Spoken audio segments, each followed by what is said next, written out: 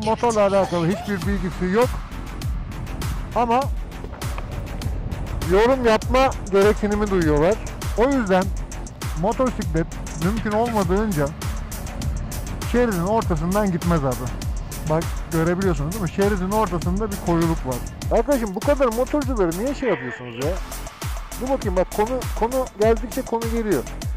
Birincisi Sol şeridi niye kullanıyorsunuz? Sol şerit sollama şeridi. Bakın bakayım. Bakın sadece burada değil. Türkiye'nin her yerinde sol şeritler bu alemde. Böyle dolu. Bak sağ şerit gidiyor lan ne hikmetse. Bak bu kadar kolay. Bu kadar kolay yol veriliyor. Az bir şey direksiyonu çevirdiğin zaman bu kadar kolay yol veriliyor. Arkadaşlar vallahi gidiyorum da eee, bu trafik hiç hayra alamet değil abi bu saatte. Evet gördüğünüz gibi abi yol tarumar olmuş. Bunu da motorcu yaptı değil mi? Ananı ananı ananı ananı. Evet görüyorsunuz değil mi? Yağı da fren de görüyorsunuz. Böyle yorumlar alıyorum aptalca. İşte takip mesafesini korusama, korusana bir ya da aynı videoda o ne o kadar mesafe mi bırakılır araya 5 tane tır girer 2 Şimdi arkadaşlar bu kullandığımız bu kamera tamam mı? Action kamera diye geçiyor ve geniş açılı ve ultra geniş açılı e, HGS'den geçtikten sonra sayıyoruz. 1001, 1002, 1003. Gördünüz mü arkadaşlar?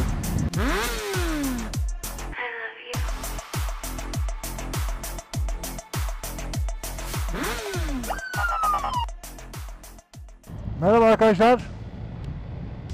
Bir Motovlogcu Dayı kanalına tekrardan hoş geldiniz. Bugün fazla tutmayacağım sizi. Bu iki tane eee, videolarıma gelen eee, yorumlarda anladım ki bazı insanların motorla alakalı hiçbir bilgisi yok ama yorum yapma gereksinimi duyuyorlar. Şimdi bunlardan eee, bahsedeceğiz arkadaşlar. Bunlar ne abi? Yorumlarıma, ya videolarıma gelen yorumlardan bazıları işte neyse. Birincisi şu. Ya takip mesafesini korusaydın diyorlar ya da o kadar mesafe mi bırakılır diyorlar başka bir araçla. Önündeki araçla arandaki mesafeye bak filan falan. Ya da e, şeridin sağından ya da solundan gidiyorum. Sol teker izi ya da sağ teker izinden. Şeridi o neden ortalamıyorsun gibilerinden böyle yorum yapıyorlar. Şimdi bu iki konuya eee, değinip bu arkadaşların az bir şey bilgi sahibi olmasını sağlayacağım. Şimdi arkadaşlar önce şeridin neden ortasından gitmiyorsuna gelelim. Şimdi az önce bir gördünüz mü? Yağ izi. Bakın arkadaşlar motosiklet iki teker üzerinde dengede giden bir alettir. E, dört teker değildir. Şeridin motosiklet dünyanın her yerinde en azından bilgisi olanlar biliyor bunu. Her zaman arabalara göre sol ya da sağ teker izinden gider. Sebebi ne? Ortadaki yağı görüyor musunuz arkadaşlar? Kamera çekiyor mu acaba bilmiyorum. Şimdi araba da kamyonlar yolun ortasında yani yol, şeridi ortalayarak gidiyor. Motor kısımları nereye denk geliyor abi? Şeridin ortasına değil mi? Yağın, pisliğin, bazı motor parçalarının düştüğü kısım şeridin orta kısmıdır. O yüzden motosiklet mümkün olmadığınca şeridin ortasından gitmez abi. Bak görebiliyorsunuz değil mi? Şeridin ortasında bir koyuluk var. Şeridin tutuşun en iyi olduğu yer şeridin teker izidir. Bunun bir başka sebebi de şudur. Mesela atıyorum sol şeride geçelim. Sol şeritte kaçınılacağın en iyi yer sağ taraftır değil mi? O yüzden sol şeritte sağ teker izinden gidersin. Orta şeritte her iki teker izinden de gidebilirsin. Hem sağdan hem soldan. Sağ, sağ şeritte de viraj alıyorsan eğer sağa viraj alıyorsan biraz daha sağa gelerek gitmen lazım. Sebebi görüş açın daha iyi olsun.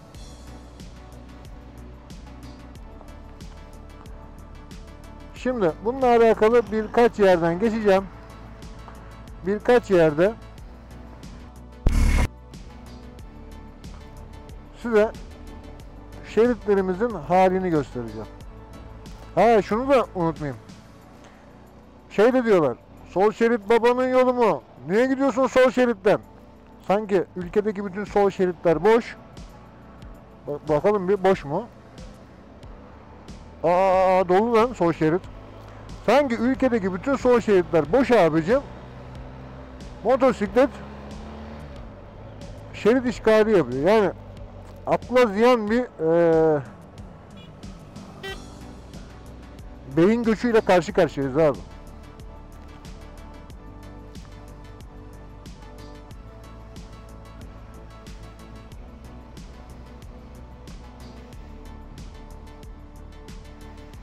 Şimdi şu trafikten çıkayım. Ondan sonra bakalım bakalım. Abi herkesin elinde yine telefon var ya. Sanki arabacıların hepsi abi dört dörtlük kullanıyor aracı. Motorcular bu işin sanki şeytanı. Arkadaşım bu kadar motorcuları niye şey yapıyorsunuz ya? Dur bakayım bak konu konu geldikçe konu geliyor. Birincisi sol şeridi niye kullanıyorsun? Sol şerit sollama şeridi. Bakın bakayım. Bakın sadece burada değil Türkiye'nin her yerinde sol şeritler bu alemde böyle dolu. Bak sağ şerit gidiyor lan ne hikmetse. Sanki sol şerit memlekette bomboş abi. Tamam mı? Sanki biz işgal ediyoruz, gasp ediyoruz. Ya bu yorum yapanlar abi hiç sokağa da mı çıkmıyor? Neyse. İkinci konu. Emniyet şeridi konusu. Şimdi güzel kardeşim bak. Teker teker gideyim diyorum da abi biz de teker teker gidemiyoruz. Şimdi emniyet şeridi bulunduğum il olarak İstanbul'da ne abi? Ee, müsaade edilmiş. Motorlara müsaade edilmiş. Hem trafik olmasın hem de motorlar emniyetli gidebilsin diye. Bu değildir ki tabii ki motosikletin emniyet şeridinde 150-200 basacağı anlamına gelmez. Güvenli durabileceği hızlarda basması gerekiyor. Ama abi insanlarda öyle bir şey var ki abi öyle bir savunmaya giriyorlar ki "Rrr! sen hangi kanuna kurala göre mesela bu adam geri geri gidiyor. Yolda geri geri vitesi geri geri gidilir mi abiciğim? Gidilmez.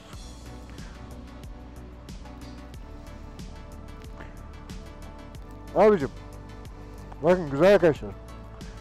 İlk önce bir motosikletleri hazmetmeyi öğrenin tamam mı? İlk önce bir hazmedin. Ya yine bu trafik ne abicim ya? Arkadaşlar görüyor musunuz? Ee, şeridin ortasını herhalde göstermeme gerek yok diyeceğim ama konumuz bu. Bakın yağ damlalarını görüyorsunuz değil mi? Bu yağ damlaları genelde şeridin ortasında. Neden? Çünkü bu önümde önümdeki mikser mesela ne var? Şaftı var. Orada yağ içinde işte dişileri var.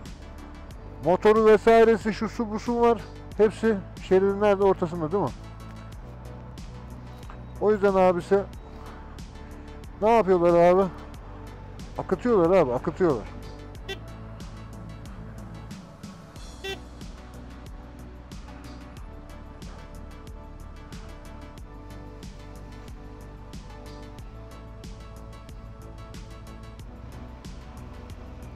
Bak bu kadar kolay. Bu kadar kolay yol veriliyor. Az bir şey direksiyonu çevirdiğin zaman bu kadar kolay yol veriliyor.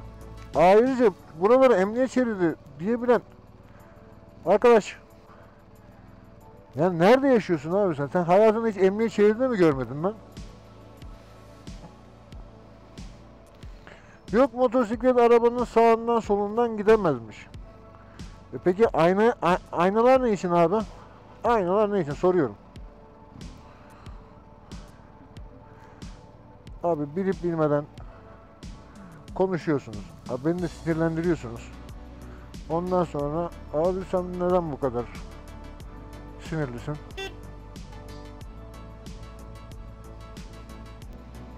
Kardeşim biz sinirlenmeye kim sinirlensin ya? Şu trafiğe bak abi ya. Bu trafiğin sebebi ne abi? Çok merak ediyorum ya. Mesela arkadaşım bakın burası burada kaç şerit var? Bir şerit var değil mi? Mesela bir şerit olan yola ne yapmışlar abi? İki araç birden sığmaya çalışmış. Değil mi Can hocam? Ee, iki araç bir şeride sığmaya çalışınca ne oluyor abi? Trafik böyle tıkanıyor. Ee, bunun da mı suçlusun motorda? Şimdi motor buradan aradan dereden girince kabahat abi. Ama arabalar, kamyonlar bir şeride iki, iki araba sığdığı zaman normal. Ya abicim bak. Ya önce biraz adaletli olun aslında. Adil olun tamam mı? Ee, sadece bu konuda değil her konuda adaletli olun. İkincisi İkincisi biraz da araştırma yap. Ay ananızı avradınızı ya.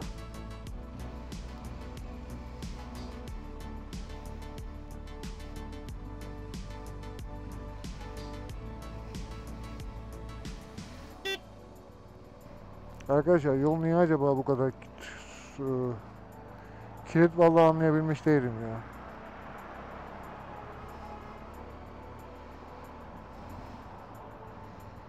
Kaza mı var? Ne var abicim yolda? Arkadaşlar vallahi gidiyorum da eee, bu trafik hiç hayra alamet değil abi bu saatte. Neyse arkadaşlar bakın e, e, İstanbul trafiğinde emniyet şeridinde düzgün hızlarla, kontrollü, güvenli hızlarla kimseyi e, riske atmadan gitmek e, müsaade edilmiş bir durumda abi. Müsaade edilmiş. Tamam. Yani sizdeki bu e, motosiklet düşmanlığı nedir abi? Ya hiç anlayabilmiş değilim yani.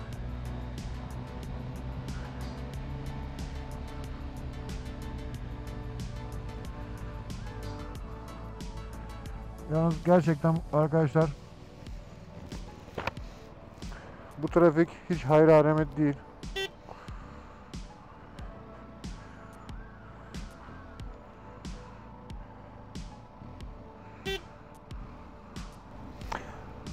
Arkadaşlar bir de şunu da söyleyeceğim şimdi. Az bir şey ilerlemeye başladı bizim taraf emniyet şeridi. Şimdi o kadar vıdı vıdı ediyorsunuz. Yok motor emniyet şeridinden gitmez. Kardeşim motorun trafiğe o kadar faydası var ki. Bak şimdi trafikteki bütün araçların çoğu tek şoförlü değil mi?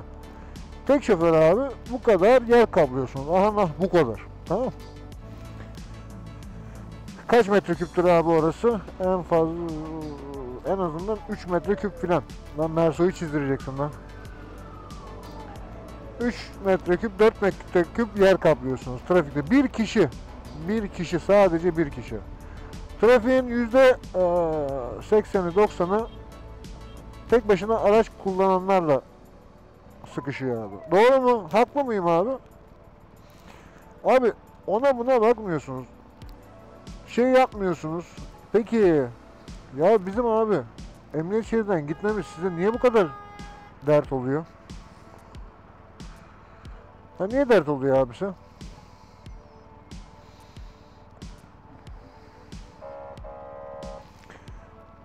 Oğlum sen de koskoca Mersosun ya. Sana yol verirler mi oğlum?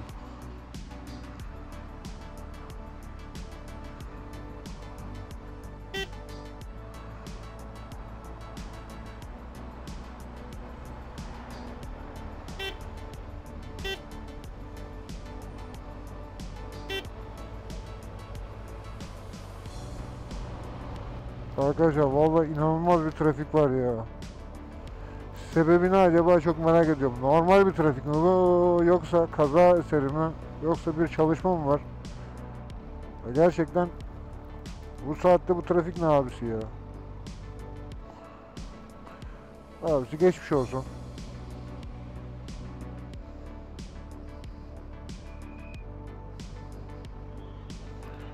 Evet gördüğünüz gibi abi yol tarumar olmuş. Bunu da motorcu yaptı değil mi? Ananı ananı ananı ananı. Evet görüyorsunuz değil mi? Yağı da filan da görüyorsunuz. Yani bir şey söylediğimiz zaman da abi şeridin niye köşesinden niye şeyinden ya bir dünya laf söylüyorsunuz. Neyse şimdi gelelim abi emniyet şeridi mevzusuna. Emniyet şeridi. Emniyet şeridi abi İstanbul'da motorlar emniyetli bir şekilde gitsin diye bokunu çıkartmadan gitmelerine izin verilen bir yol abi tamam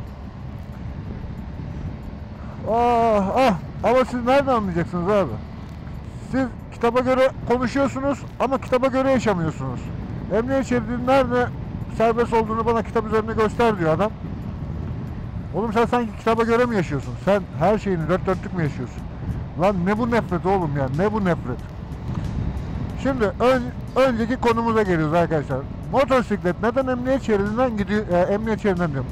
Önceki konumuza geliyoruz arkadaşlar. Motosiklet neden şeridin sağ tekerizinden ya da sol tekerizinden geliyor? Tekrar da açıklamam gerekirse ortada gidersen eğer 3 şeritli bir olsa ya sağ tekerizinden gideceksin ya da sol tekerizinden gideceksin.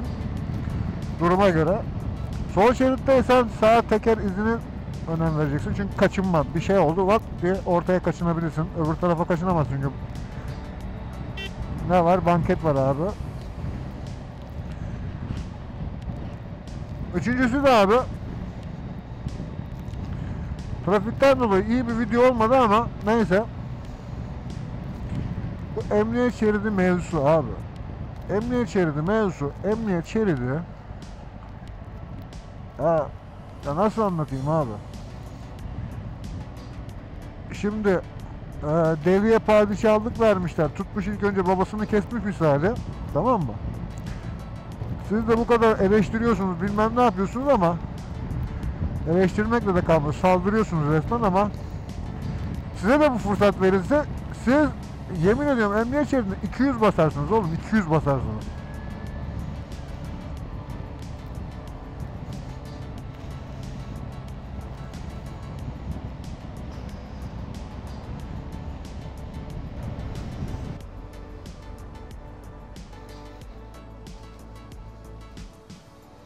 Heh tabelaları oku abi oku. Dur böyle ortada. Kitap okur gibi oku tabelaları. Allah'ım ya Rabbim ya Resulallah. Arkadaşlar yolun neresi ıslak? Ortası değil mi?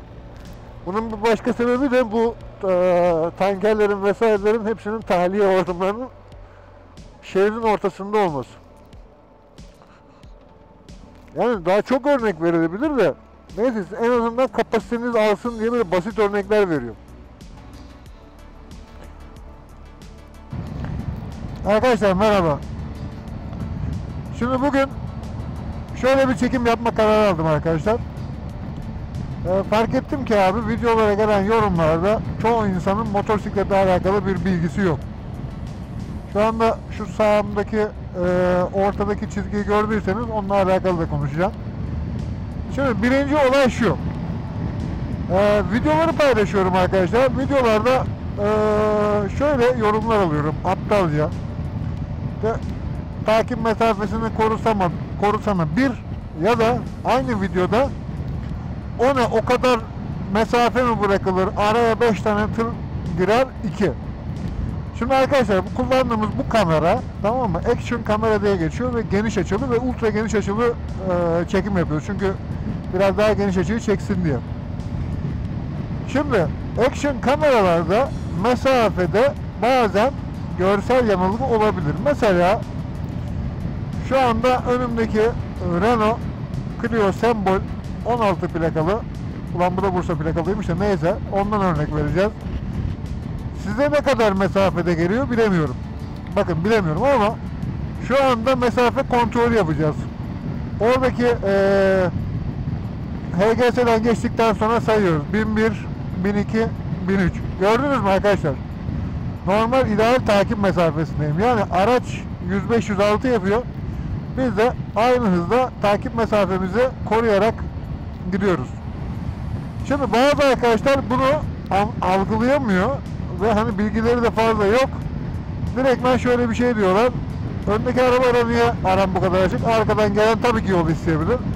Arkadaşım trafik varsa abi arkadan gelen abi acil bir durumu yoksa yol isteyemez. Bak adam yol verdi geçiyoruz. Şimdi öndeki arabaya geldik abi. Öndeki arabada da tekrardan takip mesafemizi koruyoruz. Her seferinde 3'e kadar saymıyoruz tabii ki. Bu artık e, görsel olarak hafızamıza kazındığı için bunu abi sen algılayabiliyorsun. Mesela yine önümdeki araçta mesafe nasıl gözüküyor hiçbir fikrim yok ama sabit bir objeden sayacağız. Beraber sayacağız. Şimdi araba 101-102 kilometre ile gidiyor. Arnavutköy tabelasından itibaren sayıyoruz. 1001, 1002, 1003. Gördünüz arkadaşlar. İdeal takip mesafesinde seyrediyoruz trafikte. Ama bunu an- algılamayan arkadaşlar şöyle bir yorum yapıyor. Neden araçta mesafen o kadar fazla? Abicim dibine mi gireyim? Dibine girmek istemiyorum.